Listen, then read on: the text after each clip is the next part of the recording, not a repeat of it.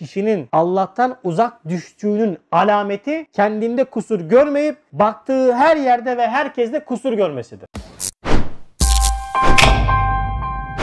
Evet konumuz kusur görme. Geçen haftaki konunun ikinci kısmıydı. Olmayanlar için tekrar edelim. Geçen hafta kusurunu gör ama kusur görme demiştik. Kusurunu görme kısmı biraz uzun olduğundan dolayı kusur görme kısmına geçememiştik. Bu hafta da geçen hafta dersin devamı. Geçen haftaki ders biraz nefse ağır geliyordu ama uygularsak inşallah çok büyük bir faydası olacaktı bize. Bu ders de aynı şekilde. Önemli bir konu. Şimdi kişinin kendini kusursuz ve mükemmel görmesi nispetinde etrafında ve karşısında daha çok kusur görüyor. Bu zamanın bu asrın belki de kronik hastalıktan bir tanesi. Yani sürekli kendine kusursuzluk vehmine kapılan bir kişi hem başkalarında hem de kainatta her daim gördüğü tek şey kusur ve hata oluyor. Birçok hadis-i şerifte Efendimiz sallallahu aleyhi ve sellem de bize sürekli kendi kusurlarımızla meşgul olma tavsiyesinde bulunmuş. Bir tane hadis-i şerif söyleyeyim bununla ilgili. Allah diyor bir kimseye hayır murat ederse, bunun değişik rivayetleri de var. Onu kendi kusurlarıyla meşgul eder. Şimdi madalyonun tersini çevirdiğimiz zaman da eğer başkalarının kusurlarıyla meşgul oluyorsak Cenab-ı Hak demek ki bizim hakkımızda hayır murat etmiyor. Eğer kendi kusurlarımızla uğraşıyorsak ve başkalarının da kusurlarını araştırmıyorsak, onları görmezden geliyorsak demek ki Cenab-ı Hak bizim hakkımızda hayır murat etmiştir elhamdülillah. Yine Kur'an-ı Kerim'de Hucurat suresinde birbirinizin kusurunu araştırmayın diyor Cenab-ı Hak. Bu da bir ilahi emir. Şimdi kusur görme hastalığı insana kendi şahsına ait olan zararı var. Toplum hayatına olan zararı var. Aile hayatı olan zararı var. Hatta hatta daha da ilerisinde dini yaşantısına temas eden de zararı var. Ama biz öncelikle birkaç noktayı ele alacağız. Geçen haftaki okuduğumuz yerin yani 13. lemanın devamı bu okuyacağımız yer. Ve 3. noktada diyor ki insanın hayatı içtimaiyesini ifsat eden bir desis desiseyi şeytaniye, insanın toplum hayatını, içtimai hayatını ifsat eden, yani bozan,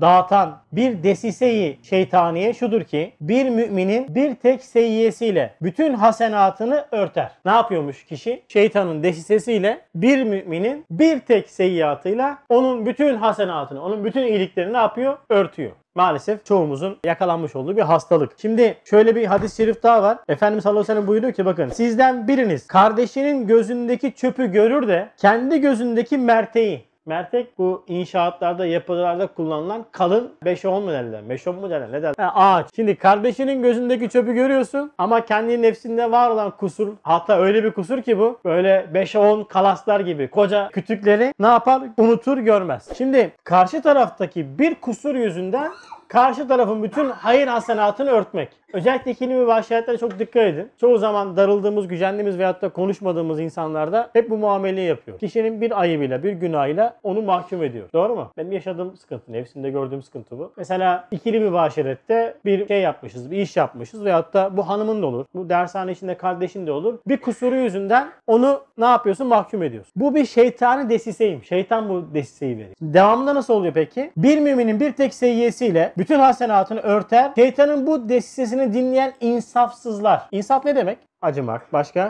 İşte kelime manalarına arada bakmak lazım. Ben de bugün insafın kelime manasına baktım. Böyle aynı şeyleri insaf, acımak falan diyoruz da. Acımak ve bir şeyi duyunca da mantığa dayalı olarak adalet duygusuyla tartmak diyor. Bak bu kısım çok önemli. Bir şeyi duyduğunda, bir şey gördüğünde ne yapacaksın? Mantığa dayalı adalet duygusuyla o hadiseyi tartmak. Ve çok böyle önemli bir kelime kullanılmış. Diyor ki insafsızlar. Yani şeytanın bu desisesini dinleyen. Yani mümin kardeşinin bir hatasına binaen onun bütün hayır hasenatını örten kişi. Eğer şeytanın bu desisine kulak veriyorsak insafsızlık yapıyorsun ve o insafsızlar mümine adavet ederler. Halbuki Cenab-ı Hak haşirde adaleti mutlaka ile mizan-ı ekberinde amali mükellefini tarttığı zaman hasenatı, seyyata, galibiyeti, mağlubiyeti noktasında hükmediyor. Hepimiz öleceğiz. Hepimiz alim ahirete gideceğiz ve mizana Cenab-ı Hak bizim amellerimizi tartacak. Ve adalet-i ilahiye noktasında Cenab-ı Hakk'ın yapacağı muamele nasıl? Senin hayırlarını tartacak değil mi? Şerlerini tartacak. Eğer hayır hasenatın fazla basmışsa, ağır gelmişse, en amiyane şekilde ifade etmeye çalışıyorum. Ağır basmışsa sen ne yapacaksın? Cenab-ı Hak indinde makbul bir kulsun ve ehli cennet olacaksın. Ehli necat olacaksın. Eğer seyyatın ağır basmışsa o zaman iş terse dönecek. Şimdi Cenab-ı Hak bile, bakın Cenab-ı Hak bile onca nankörlüğümüze ve günahkarlığımıza rağmen bizi tartarken, biçerken ne yapıyor? Hesaba çekerken adalet terazisinde bizi tartıyor. Hayır hasenat ve günahlar. Şimdi ehli insaf, bak ehli insaf neydi? Acıma duygusuna sahip ve bir şey duyduğunda, gördüğünde mantığa dayalı şekilde adalet terazisiyle hadiseyi tartan kişi Eğer ehli kamil yani kemalat sahibi bir insansa ismi adıl tecellisiyle kişiye yaklaşması lazım. Yani Cenab-ı Hak bana nasıl muamele buyuracak? Hayır hasenatımı tartacak. Hayır hasenatım ağırsa o zaman ben makbul bir kul olacaksam eğer Cenab-ı Hakk'ın adıl esması, adalet sahibi olan Cenab-ı Hakk'ın adıl esması bende gözükecekse benim de karşıdaki kişi bu eşin olur, bu cemaat içinde bir kardeşin, abin olur veyahut da işte iş yerinde bir elemanın olur veyahut da iş arkadaşın olur, toplum içerisinde akraban olur. O kişiyi sen tartarken, biçerken ve onunla yaşamış olduğun muamelede görmüş olduğun hataya binaen eğer şeytan sana diyorsa kardeşim bunu sil, bununla bir daha konuşma, bununla bundan sonra muhatap olma diyorsa yapacağın muamele nedir? Ehli insaf, ismi adıl hükmünce karşıdaki kişinin hasenatını ve seyyiatını tartar ve ona göre muamele eder. Eğer buna göre muamele etmezse alim ahirette göreceği muamele de bu dünyada yapmış olduğu muamelenin aynısı olacaktır. Sen bu dünyada mümin kardeşinin bir hatasıyla, bu eşin olur, eşinin bir hatasıyla, kardeşinin bir hatasıyla onu mahkum edip onu siliyorsan, onu teraziye sokmadan böyle efsane bir şekilde şeytani bir desiseyle muamelede bulunuyorsan aynı muameleyi göreceksin. Çünkü alim ahiret bu dünyada tecelli edilen esmaların net olarak gözükeceği yerdir. Bu dünyada ismi adili üzerine tecelli ettirmemişsin. Nefsine mağlup olmuşsun. Settar esmasını yani Cenab-ı Hakk'ın ayıpları örten esmasını tecelli ettirmemişsin. Kişinin ayıplarını ifşa etmiş. Etrafa yaymışsın. Cenab-ı Hakk'ın gafur gaffar esmasını tecelli ettirmemişsin. Affedici olmamışsın. Alem ahirete gittiğinde şimdi tecelli ettirmediğin bir esmanın sende karşılığı, sende açılım olur mu? Olmaz. Bu dünyaya biz esma ilahi talim için geldik. Esma ilahi talim ettiğin zaman o talim etmiş olduğun esmanın açılımıyla sen alem ahirette mukabele göreceksin. Ama çoğu zaman ne yapıyoruz? Şeytana uyuyoruz ve ikinci adım şu. Şimdi ben Ömer abide bir hata gördüm ve Ömer abi ben alemimde siliyorum. Ömer abiye karşı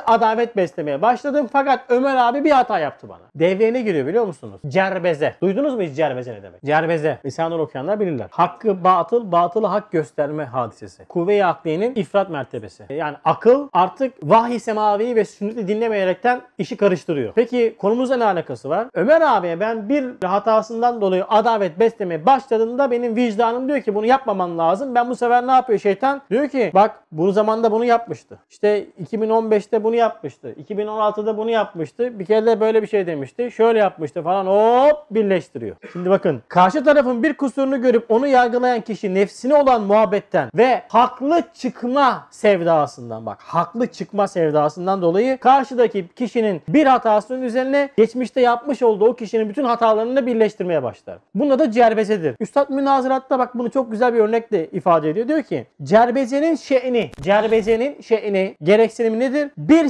seyyiyi sümbüllendirerek hasenata galip etmektir. Kişinin bir hatasını sümbüllendirip, yeşillendirip, büyütüp, abartıp, mübalağa yapıp ne yapmak? Onu hasenatını örtbas ettir. Mesela bakın bir örnek veriyor. Bu dersin okunduğu yer Münazarat Risalesi. Doğudaki aşiretlere yapılan bir dersten alıntı bu. Diyor ki şu aşiretin, biz bunu değiştirelim. Bu cemaatin her bir ferdi bir günde attığı balgamı cerbeze ile vehmen tayyi mekan ederek birden bir şahısta tahayyül edip başka efradı ona kıyas ederek o nazarla baksa birinci bu. Bir sene boyunca atmış olduğun balgamı bir kere de toplasak ne olur? O insan boğulur. Şimdi atıyorsun. Yani çok böyle hoş olmayan bir örnek ama Risale'de geçiyor. O yüzden direkt okudum. Sen ne yapıyorsun? Adamın atmış olduğu bütün balgamları şimdi topla, vehminle tayin mekan yap ve bir kere de atılmış olarak gör. Diğer bir örnekte veya bir sene zarfında birisinden gelen raiya kerihe yani kötü koku. Buna ter kokusu, hayır kokuları da ekle. Cerbeze ile hayy zaman tevehümüyle birden bir dakikayı vahidede o şahıstan sudurunu tasavvur etsen hayaline böyle bir şey düşün. Bütün o affedersiniz tükürükleri topladık bir kere de attığını farz ettik. Bütün o kötü kokuların bir senede biriken o kötü kokuların bir kere de çıktığını farz etsek. Şimdi bu adam acaba o şahıs ne derece evvelki adam gibi müstakser yani kirli ve pis ikinci adam gibi müteaffin kokuşmuş olur. Sen bu adama kokuşmuş diyebilir misin? Hayır. Çünkü bu adam arada belki kötü koku çıkıyor üzerinde. Ama normalde her zaman güzel kokuyor. Arada affedersiniz balgam atıyor ama arada atıyor. Ama sen o adamın yapmış olduğu o fiili bir kere de yapmış gibi kabul ettiğin anda o kişiyi çıkarmış olduğu kokuda çıkarmış olduğu balgamda boğarsın. İşte buna da cerbezedir. Şimdi insan kendi kusurunu unuttuğu zaman, kendinde kusur görmediği zaman karşı tarafı suçlamaya başladığında yaptığı şey şeytanın desisesiyle budur işte. İkili mübaşirette karı koca arası, gelin kaynana arası, işte baba oğul arası, işte cemaat içinde abi kardeş arasında yapılan en büyük hata şu. Olaydaki haklılığını ortaya çıkartmak için ve hatta nefsini haklı görmek için karşı tarafın bütün kusurlarını toplayıp cem edip önüne koyuyor.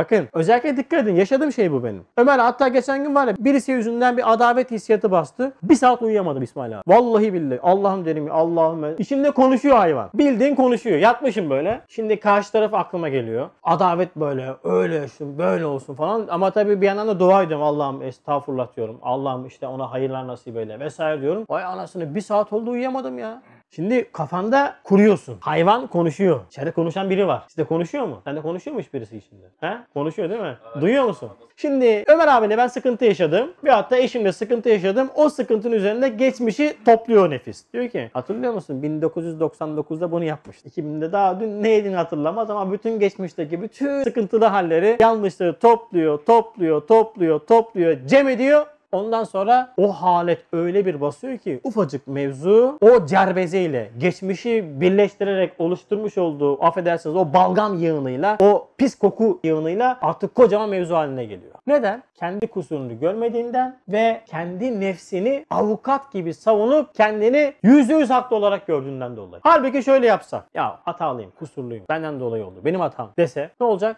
Mesele bitecek. Çok kolay ama çok zor. Çok kolay ama çok zor. Şimdi oraya da geleceğiz. Şimdi bunun sebebi ne peki? Nefsi emmareyi, nefsimizi, onun uzantısı olan kendi vehmimizde oluşturduğumuz gurur, kibir, değil mi? İzzet. Bunlara o kadar değer veriyoruz ki. Hani geçen ders hatırlarsanız o vermiş olduğumuz değer nispetinde Allah birileri tarafından bizi yontuyor. Birileri tarafından bizi yontuyor. Olay bu yani. İşi bizden kaynak. O yüzden ne yapacağız? Şimdi olayı değerlendiriyorsun. Şimdi adamın bir kusuru var ama Ömer abi bana kusur yaptı. Hanım bana kusur yaptı. Abim kardeşim bana kusur yaptı. Ne yapacağım? Hemen bak mantık devreye girecek. İslami bir şuurun varsa hemen alternatif üretmesi lazım. Seyyatın esbabı çok ve vücutları kolay olduğundan bazen bir tek hasene ile çok seyyatını örter. Demek bu dünyada o adaleti ilahiye noktasında muamele etmek gerekti. Bakın seyyat kolaydı. Nefsi emmare taşıyoruz değil mi? Karşı tarafta nefsi emmare taşıyor. Şeytan var. Karşı tarafta da şeytan var. Bir sürü esbab var. His var. Heves var. Bunların hepsinin tasallutuyla ortaya bir yanlış çıktı. gerçekti. Bir seyyat için bütün hasenatı örtme. Hem aynı zamanda o olayı şimdi bölümlere ayır. Mesela evinde hanımla problem yaşadın. Kardeşinle dershanede problem yaşadın. iş yerinde sıkıntı yaşadın vesaire vesaire. Şimdi bunu adalet mekanizmasında tartman için önce o büyük pastayı dilimlere bölmen lazım. Nasıl olacak bu? Bakın şimdi Uhvet Risalesinden okuyacağım. Mümin kardeşinden sana gelen bir fenalığı bütün bütün ona verip onu mahkum edemezsin. Bak şimdi cümleyi değiştiriyorum. Hanımından gelen bir fenalığı bütün bütün ona verip onu mahkum edemezsin. Buradaki özneyi değiştirin. Herkes kendi halinde değiştirsin. Çünkü neden? Evvela kaderin onda bir hissesi var. Şimdi pastayı bölüyoruz. Bakın pastayı böldük. Ne var? Kaderin bir hissesi var. O olay Cenab-ı Hakk'ın izniyle oldu mu olmadı mı? Oldu. Değil mi? Cena ayet-i kerimede de böyle Cenab-ı Hakk'ın izni olmadan yaprak bile kımıldamaz. Cenab-ı Hakk'ın takdiridir kader ve vücuda gelen her hadise Cenab-ı Hakk'ın takdirinden ve onayından geçmiş midir? Şimdi bunda kaderin bir hükmü var ve hayırdır. Ya mutlak ya netice itibariyle hayırdır. Kaderin hükmü varsa ne yapacağız? Onu çıkarıp kader ve kaza hissesine karşı rıza ile mukabele etmek lazım. Allah'tan geldi. Cenab-ı Hakk'ın takdiri. Şimdi ne yapmam lazım? Benim kendimi bir analiz etmem lazım. Sonra ikinci adım. Saniyen. Nefis ve şeytanın da hissesini ayırıp o adama adalet değil belki nefsine mağlup olduğundan acımak ve nedamet edeceğini beklemek. Şimdi ikinci kısım. Kader ve kazayı verdin. Pastanın bir dibini kopardın. Bak şimdi pasta küçülecek yemesi kolaylaşacak. Nefsi bu pastayı yedireceğiz. Şimdi kaza ve kaderi böldük verdik. Kaza ve kader onu yedi. İkinci adım şeytan ve nefis. Hepimizde yok mu? Çoğumuz çoğu zaman nefis ve şeytana uymuyor muyuz? Çok. Şimdi e, karşı tarafta nefis ve şeytan yok mu? Onun zaafları yok mu? Var. Senin zaafların yok mu? Var. Şimdi senin zaafın var. Senin nefis ve şeytanın var. Sen nefis ve şeytana uyuyorsun ve sen nefis ve şeytana uyduğun zaman kendini çok masum görebiliyorsun. Uydum nefsime diyorsun. Dayanamadım. Uydum nefsime diyorsun. E şimdi karşı tarafta uydu nefsine, uydu şeytanına. Ne yapmak lazım? Acımak lazım. Ne yapmak lazım? Nedamet etmesini beklemek lazım. Ama biz ne yapıyoruz? Puh! Yapıştır. Kavga. Dövüş. Hemen dargınlık. Dağılır. Ay! yapmam. Hayatta gelmem. Danışma ben de. Daha da ilerse cenazeme gelme. Meşhur Türklerin şeyidir bu. Cenaze olayı. Cenazeme gelme. Sanki yani cenazene gelsen olur gelmesen olur yani. Allah razı olsun ki iyi kurtulduk ya. ya tatilde matilde ölür ondan sonra işi git tatili böyle. Adam cenazeme gelme dedi gelme. Şimdi bak ne yaptın? Şeytan ve nefsin hissesini verdin. Pastanın bir kısmını da aldın. Şimdi devam ediyor mesele. 3. Sen kendi nefsinde görmediğin veya görmek istemediğin kusurunu gör. Sen daha önce hiç kusur işlemedin mi? Mesela kardeşinden sana gelen bir sıkıntıda hemen geçmişteki hizmet hayatına bak bakayım. Abine karşı böyle bir saygısızlık, bir terbiyesizlik yaptın mı yapmadım. Herkes kendini böyle çekin etse var ya kimse karşıyla uğraşmaz ha. Ama nefsi emmare o kadar dehşetlidir. O kadar haindir ki hayatta toz kondurmaz kendisi. Hep karşıyı suçlar. Hep hep hep parmak karşıyı gösteriyor. Hep karşıyı gösteriyor. Şimdi e, ne yaptın? Sen o olay hadisesinde kendi kusurunu gördün. Görmek istemediğin kusurunu gördün. Şimdi pastayı da koparttın o kısmı da kendine aldın. Şimdi baki kalan küçük bir kısım. Çok az yeşil bölge. Ne yapmak lazım? Af ve saf. Affet. Tamam ya. Unut. Bak ne oldu? Dilimleri ayırdıktan sonra kalan o parçayı affetmek kolaylaşır. Ya bu kadar saydıktan sonra ya şu kadar bir pay kalmış ya onu da artık affetmemiz lazım. Ama o kadar şeyiz ki enaniyetliyiz. Nefsimiz o kadar gururlu ve kibirli ki affetmem diyor. Ya Allah aşkına o kadar günah işliyoruz. O kadar tövbe ediyoruz değil mi? E, Cenab-ı Hak bizi affetmiyor mu? Cenab-ı Hak affet etmese sana o tövbe ettirtmez ya. Seni hiç kapından kovdu mu Cenab-ı Hak? Sen dua ediyorsun. İndir elini diye bir ses duydun mu? Tövbe edememe gibi durum olmuyor değil mi? Ediyoruz. E demek ki Cenab-ı Hak tövbemizi kabul edecek. Vermek istemeseydi istemek vermezdi. Şimdi sen bunca nankörlüğün, bunca günahına karşı, e, bunca hatana karşı Cenab-ı Hakk'ın huzuruna gidip tövbe edip Cenab-ı Hak'tan af diliyorsan ve affediliyorsan inşallah e, karşı tarafta hata yapmış. Karşı tarafta kusur işlemiş. O zaman ne yapacaksın? Affedeceksin. Ha şimdi işin bir kritik noktası daha var. Şimdi bazen nefsi embare çok baskın oluyor. İnsanın yaşadığı şeyler hani bu kadar dini tezgahtan geçirip düşünmek zorlaşıyor. Değil mi? İnsan çünkü nefis var, heva var, heves var. Ee, bir sürü duygular karışıyor, hissiyatlarımız karışıyor. Şimdi unutmayacağız. Bakın özellikle şu daire içerisinde olanlar için söylüyorum. Bu kadar ders dinliyoruz abicim. Özür dilemek hayatımızın şiarı olacak. Yani herkesin herkesi böyle lop diye affetmesi zordur. Cenab-ı Hak tövbe edenin tövbesini kabul eder. Sen hiç tövbe etmezsen Cenab-ı Hak senin günahını affeder mi? Adetullah öyle bir şey yok. O yüzden herkes hatasını ve kusurunu bilecek. Bu zor bir şey ama kolay bir şey. Zor çünkü nefsi emmareye ağır gelir. Kolay yaptın mı çok şey kazanır. Hata yaptın özür dileyeceksin kardeşim. Bu kadar basit. Yaşı başım başım yok bu işin ya. Ben ondan büyüğüm. Büyüklükle küçüklükle alakası yok. Hacım. Kusur kusurdur ya. Ne alakası var büyüklük küçük. Herkes hata yapabilir yani. Ama özür diledikten sonra iş kolaylaşıyor. Ha karşı tarafı affetmezse artık onun için ikinci bir imtihan başlar. Çünkü ölecek ve alem ahirette hesaba çekilecek. Cenab-ı Hakk'ın kullarına nasıl davranıyorsak Cenab-ı Hak da bize öyle muamele edecek. Affettin mi? Affediliriz. Bağışladın mı? Bağışlanırız. Ama o kadar nefsi emmare penceresinde yaşıyoruz ki hemen ilk fırsatta nefis senin karşı tarafa yaptıklarını sıralamaya başlıyor. Sana ben böyle yaptım, Ömer abiye borç verdim, gittim himmet ettim, dükkanına gittim, öyle yaptım, böyle yaptım, şöyle yaptım, böyle yaptım, böyle yaptım diyerek bütün hayır hasenatları dizdi. Ve karşı tarafında bütün kusurlarını işte bak bu da bana böyle yaptı, böyle yaptı deyip karşı tarafı da yermeye başladı. Böyle bir insan ikili mübaşiretlerde özellikle söylüyorum. Bakın yaptığı iyilikleri sayan kişiyi münafıklık alametine maruz kalır. Bir kavga esnasında, bir sıkıntı esnasında sen karşı tarafa ben sana bunu yaptım, bunları böyle yaptım, yaptım diyorsan senin o yaptıkların hepsi çöptür. Çünkü sen hiçbir şekilde Allah için bir şey yapmamışsın. Allah için bir şey yapılmadıktan sonra yaptıklarının hiçbir önemi yoktur. Böyle ağlayıp durursun. Allah için yapmak neydi? Bismillah okumak dersini hatırlayın. İçerisinde ben katmamak. Biz öyle miyiz? Ben sana nerede yaptım Hüseyin? Ben sana bunu yaptım. Bak ben sana bunu yaptım, şunu yaptım deyip hemen tık tık tık tık tık saymaya başlıyoruz. Sonra karşı tarafta ben de sana bunu bunu yaptım diyorsun. O, o da sana saymaya başlıyor.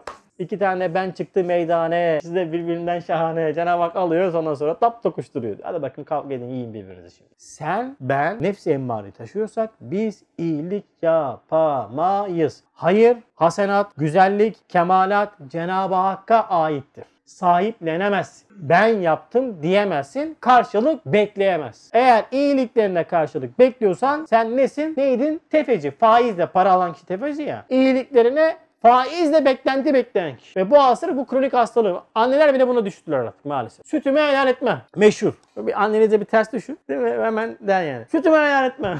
Ya sanki sütü kendi üretiyor.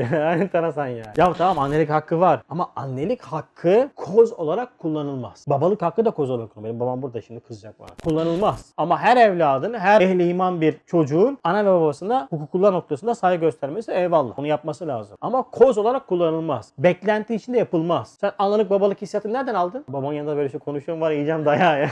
Baba sen hariç ya sen şey yapma. Sen kralsın ya. Öyle ya nereden aldın? Anneler şefkati nereden aldı? Pirinç yediler de mi geldi? Allah'tan e, sana ait olan bir şey mi? Yok fıtri ama ve lakin anne ve baba beklemeyecek ama evlat bunun en iyi şekilde karşılıkta bulunmak zorundadır. Bu bir fıtri bir insaniyetin gereksinimi. Ama eğer işte ben sana bunu yaptım bak sen bana bunu yaptın da girince o ortada işte ne saygı kalıyor, ne muhabbet kalıyor, ne bir şey kalıyor artık iş şeye dönüyor yani. Hadi bakayım ben sana bakıyorum sen de bana büyüyünce bakarsın tamam mı? Bak unutma bak bakıyorum büyüyünce. Ya sen bırak büyüyünce bakarlar. Sana da bakarlar. Bakmışsan bakarlar. Yapmışsan yaparlar. Ne yapıyorsak dönecek ya. Bu kadar basit. Yani zorlanmayın. Yani böyle karşılık beklemenize gerek yok. Aynaya geçin. Nasıl bir hayat yaşıyorum? İnsanlara nasıl davranıyorum? Anne babana nasıl davranıyorsan anne baban da çocuklarından öyle muamele görürsün. Kırıyorsan kırdığın yerde kırılacaksın. Çok basit bu. Yani şey çıkarmayacaklar böyle tapkadan tavşan çıkartmayacaklar yani. Men dakika dukkadır. El ceza min cinsin amel. 21. mektup. Ceza amel cinsinden. Ne yapmışsan onu bulacaksın. Yani bunu hayatınızın teferruatına bakın. İkili mübaşeretlerde eğer gereksiz yere insanları kırıyorsanız gereksiz yere kırılacaksın. Anne babanıza haksızlık ve saygısızlık yapıyorsunuz. Size de aynı şekilde haksızlık ve saygısızlık yapılacak. Allah bırakmıyor yani. Nereden geldi bu? Bu melanga attın. 15 yıl sonra döndü seni buldu yani. E Kardeşim atma işte sana diyoruz bak yapman gereken şey ne? Onu atma. Hata bende, kusur bende, benim hatam benim kusurum de bitir iş. Estağfurullah. Tövbe de bitir iş. Ama nefsi emare kabul etmiyor işte. Evet. Şimdi ne yapacağız? Eğer bir adamın iyilikleri fenalıklarına kemiyeten veya keyfiyeten ziyade gelse o adam muhabbete ve hürmete müstehaktır. Karşı tarafı arkadaşlar değerlendirirken bakın bu tekrar tekrar ediyorum. Bu evde hanımın olur, kardeşin olur, iş yerinde elemanın olur, ikili mübaşirette arkadaşın olur vesaire vesaire. Karşı tarafı değerlendirirken hayır hasenatına bakacaksın. Bakın bu psikolojik bir yöntemdir. Buna ne diyorlar biliyor musun? Her şeyde iyiyi görmek. Yani bu aslında psikolojik bir yöntem değil. Bu İslami bir dini bir yöntemdir. Bardağın dolu tarafına bakmak. Nedir abi? Ha, pozitif bakış açısı diyor tamam mı? Güzel gören güzel düşünür. Güzel düşünen hayatından lezzet alır. Bu da Kur'an'ı bir bakış açısı işte. Bardağın dolu tarafına bakmayı bilmek lazım. Kişinin dolu tarafına bakmayı bilmek lazım. Ama sürekli menfi ve eksik yanlarına baktığımız için veyahut da eksikleri gördüğümüz için sıkıntı yaşıyoruz. Hadi bir örnek daha kendimden vereyim. Geçen babam da şahit oldu. Yemekteyiz böyle. Hanım bir şey yapmış. Gittim ve dangozdun, kalastın zirvesini yaptım yani. Bir kusur yaptım böyle kusuru gördüm. Hiç saçma sapan ya. Ya orada olsanız ya, tükürürsün. Yuh Allah o kadar da anlatıyorsun dersin. Harbiden diyorum. Yani. Sonra vicdanı bir azap başladı. Yanlış yaptık. Şimdi şeydi ki arkadaş olsa özür dile bir hanım yani. Yani nefis hepten zorlanıyor lan. Karıdan mı özür dileyeceğiz falan. İstersen dileme yani. Şimdi ne oldu? Şimdi sofra var misal veriyorum. Çorba gelmiş. Yemek gelmiş. Salata niye yok? Salata yok ya. Bir akşam yemeğimiz var salata yok işte. Ya bırak oğlum salata da olmasın da. Muhammed hocam. Yemeği bulsak hep başına koyacaksın. yani bardağın dolu tarafına bakmak lazım. Yani karşı taraf mesela atıyorum Hüseyin'in şimdi bir hatası var. Bir kusuru var. O kusurunu görme. Hüseyin'in çok iyi olduğu noktalara bak. İyi olduğu noktaları nazara getir. Baktın ki nefis saldırıyor. Lan bu adam böyle bu adam böyle. Şşt, Lan bu adam ehli iman. Namazında ciddi. Hizmet ediyor. Derslere sahip çıkıyor. Yalanı yok. Bu kadar iyilikleri varken bir tane kusurunu görüp hemen adalet besliyorsun. Sus diyeceksin nefsine. Konuşuyor. Susar mı? Susar. Susturursan susar. O yüzden bakın insanın diyor belki kıymetler bir tek haseneyle çok seyyiatına nazara af ile bakmak lazım. Bu bir ölçü. Kur'an-ı Kerim'de ayet Hud suresi. Şüphesiz iyilikler kötülükleri yok eder. Bir adam çok kötü olabilir. Çok günahkar olabilir. Bir yer okuyacağım. Ama ve lakin o adam bir gün gelir bir hareket yapar. Bir hayır yapar. Belki ahiretini kurtarır. Bazen küçük bir şey büyük bir iş yapar. Bakın bazen küçük bir şey. Öyle şerait oluyor. Tahtında az bir hareket. Sahibini çıkarıyor ta Allah illiğine. En yükseğe bir hareket. Öyle halat oluyor ki küçük bir hareket kasibini, o işi yapanı, o işi yapmayı niyet edeni ne yapıyor? İndiriyor ta esfeli safiline. O yüzden buraya antiparantez günahlarımızı aman aman aman küçük görmeyelim. Bakın 20 günde, bir ayda, bir yılda yapılan bir binayı veyahut da bir kulübeyi yıkmak çok kolaydır. 6 ayda bina yapılıyor. Yıkmak çok kolaydır. Tuğla tuğla eklersiniz elhamdülillah. Uğraşırsınız uğraşırsınız. Bir anlı bir zafiyet, bir günah hop çöktürür atar. Belki bir kelam kişinin helaketine sebebiyet olabilir. Allah diyor ki iyilikler kötülükleri yok eder. O zaman sen ne yapacaksın? Karşı tarafın kusurlarını değil, hatalarını değil, iyiliklerini göreceksin ve kötülüklerin üzerine bu iyilikleri set edeceksin. Bilemezsin kimin ne oldu. Zaten kimseyi de tartmak, biçmek bizim haddimizdir. Öyle değil mi? Peki neden kusur görürüm? Neden bak açıklıyor diyor ki insan fıtratındaki zulüm damarıyla, şeytanın telkiniyle bir zatın yüz hasenatını bir tek seyyiye yüzünden unutur, mümin kardeşine adavet eder. Neden kusur görüyormuşuz? Bir, insanın fıtratında zulüm damarı varmış. İnsan nefsi emmaresinde zulüm damarı vardır. Adavet vardır, kin vardır, garez vardır. Bunlar nefsi emmarede vardır. Bunlar sana ait değil ama nefsi emmare takılmış bunlar. Şimdi bu maden var sende. Şeytan ne yapıyor? Şeytan telkinat yapıyor. Bu madeni işlettiriyor. Senin adavet duygunu pompalıyor. Senin garezini, senin hasedini, kinini pompalayacak sözcüklerle vesvese veriyor. O yüzden her zaman söylerim. Kenara çekilip düşünürken dikkat edin. Nereden geliyor ses? İçinizden gelen her ses size ait değildir. Olay oldu. Ömer abi hakkında "Hı, şey yapıyorsa hemen hemen Eûzü Besmele, Eûzü Besmele, Eûzü Besmele deyip susturun. Çünkü onu dinlemeye başladığınızda adavetiniz artmaya başlayacak. Çünkü nefis hemen şeytan hemen bastıracak. Böyle böyle bunu yaptım bak böyle yaptım. Nankörün tekiydi. Ben onu yapacak. Konuşacak konuşacak konuşacak. Sen şimdi dinliyorsun böyle bir şey konuşuyor ya dinliyorsun dinliyorsun dinliyorsun. Doğru söylüyor falan diyorsun. Adavetin artmaya başlıyor. Ne yapacaksın? Sus. Hemen kes. Hemen Eûzü Besmele. Şeytandan istiyazet risalesi burası. Baktın ki konuşuyor. Eûzü billahi mineşşeytanirracim. Bismillahirrahmanirrahim. Eûzü billahi. Yalnızca Kur'an okurken okunmaz Eûzü Besmele. Eûzü Besmele bir silahtır yani. Eûzü Besmele çekeceksin. Estağfurullah çekeceksin. Şeytan susmaya başlayacak. Fıtratındaki zulüm damarı şeytan işlettiriyor. Bir tek seyyed yüzünden bütün hasenatını ne yapıyor? Siliyor. Peki bir insanın sürekli şekilde kusurunu görmek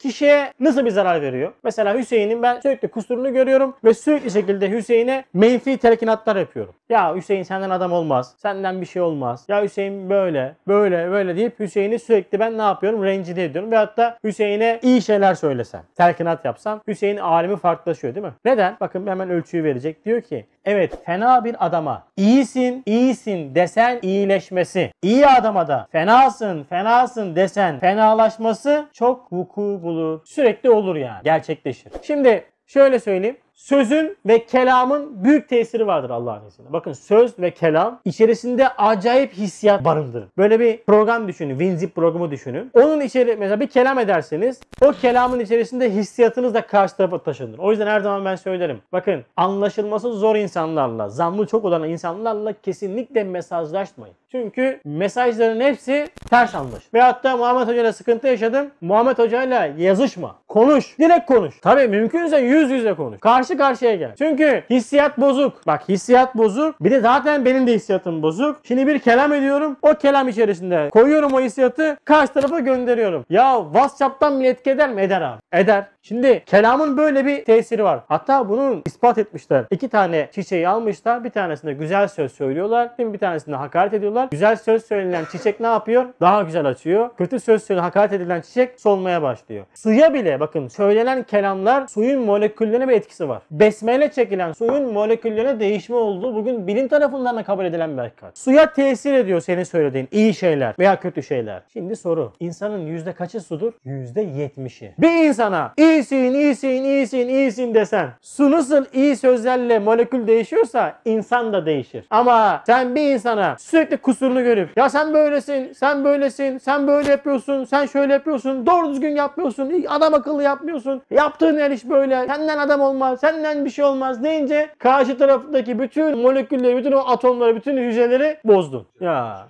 çok yaptığım bir hata, çok da yapılan bir hata. Halbuki bakın bugün psikoloji kitaplarında ve psikologların kullandığı bir yöntem bu. Hani özgüveni arttırma diyorlar ya bu özgüven dedikleri ehli dünya. Yani karşı tarafa o güven telkinatı yapılması. İyi olacaksın. Mesela adam diyor abi çok kötüyüm ben maneviyetim çok güzel kardeşim olur ara ara düşüşler olur çok normaldir insanız melek değiliz sabit değiliz olacak toparlarsın iyi olacak inşallah toparlayacaksın. Bunlar senin işte bak maneviyetin lezzetini alman için bir vesile bak şimdi daha iyi anlıyorsun maneviyetin etkisini gördün mü zıtlık Cenab-ı Hak bir şeyler öğretiyor kendi ümitsizliğe düşmüyor aman aman diye hep bu şekilde telkinat yapmak lazım. Şimdi bunu yapmazsan veyahut da karşı tarafa da bunu yapmazsan sürekli sen kötü kötü kötü kötü hep kötü gör hep kötü gör hep hata gör hep hata gör. Sonra hep de iyice bozuldu bu ya. E bozulacak tabii kardeş. Yani bu kadar eleştiri bu kadar hakaretten sonra ne bekliyorsun sen ya? Evliya mı olmasını bekliyorsun? Ama aynı hakareti yapman gereken nefsi emmareye karşı sessiz. Aman. O yüzden kişinin Allah'tan uzak düştüğünün alameti kendinde kusur görmeyip baktığı her yerde ve herkeste kusur görmesidir. 1. 2. Kusur görmeyi adet edinen kişinin ağzı eleştiriye, gıybete, dedikoduya açılır. Ağzı dedikoduya, gıybete açılan kişinin de ağzı zikre, duaya kapanır. 3. Herkesin kusurlarıyla uğraşıp nefsini pürü pak gören kişi bu dünyada cehennem azabını hisseder, yaşar. Son, insanı kamilin kusur göreceği tek yer nefsidir. O yüzden Hazreti Mevlana ne buyurmuş?